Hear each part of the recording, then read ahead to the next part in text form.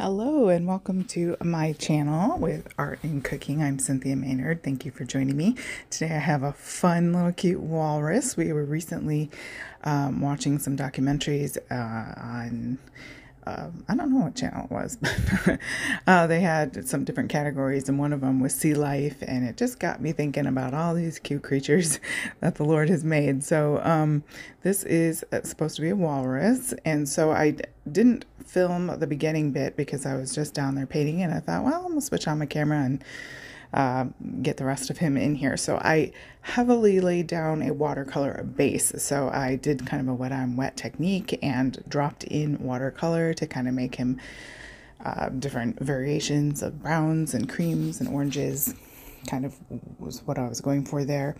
But then I felt like, oh, I want some more opacity. And so I ended up using um, a quantity of art supplies, some uh, oil pastels, some color pencils. You can see my Lyra watercolor uh, white there that I'm using to blend.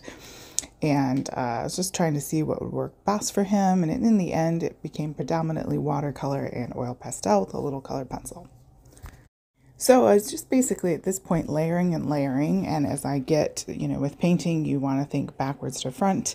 And the more closer you are to your uh, self, the more detail you want to get in there. So we lay the foundation and um, and then we just build on that. So he, I wanted him to kind of have a cute speckle look, and so I was doing that. I'm bringing in my dark color pencil to give a little more definition and outline, I guess shadow if you want to call it that, to his tusks. And I ended up making a cute pattern paper with him um, that I'm also going to use on Spoonflower and Raspberry Creek fabrics. And he was cute, so cute. At least I thought he was cute. Everybody's different, but I think walruses are cute anyways. So uh, just trying to give him some outlined definition there. If you want to take this opportunity to like and subscribe, that would be great. And check out those links in the show more box below. That way you can get um, links to various products and my websites and things, all that good stuff.